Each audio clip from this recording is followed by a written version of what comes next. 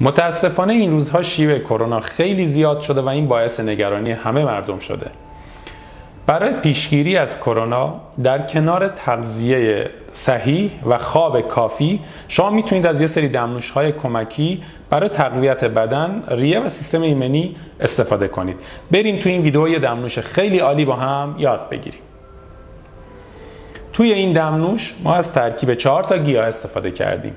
آویشن، زوفا، ریشه شیرین بیان و مریم گلی.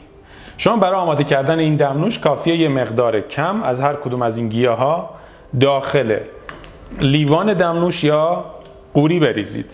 از مجموع اینها یه قاشق غذاخوری برای هر نفر کفایت می‌کنه. مقدار کم از هر کدوم از این گیاه ها داخل لیوان یا قوری بریزید. این هم چوب شیرین بیانه. یکی دو تا تیکه کوچیک بریزید کافیه. و چند برگ از مریم گلی. حالا آب جوش اضافه کنید به این دمنوش و بذارید 10 تا 15 دقیقه دم بکشه و آماده مصرفه.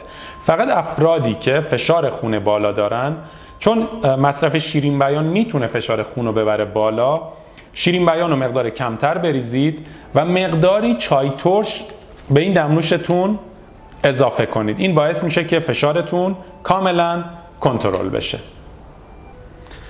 خب دمنوش ما آماده است. می‌تونید صافش کنید و خالی یا با کمی اصل میل کنید. این دمنوش هم برای پیشگیری از کرونا و هم برای درمان کرونا بسیار موثره. شما می‌تونید به مدت یک هفته تا ده روز روز یک لیوان از این دمنوش میل کنید. لطفا شما هم توی کامنت بنویسید برای پیشگیری و درمان کرونا از چه دمنوش یا داروهایی استفاده می‌کنید. اگر سوالی هم دارید توی کامنت بپرسید تا من کامل بهتون توضیح بدم.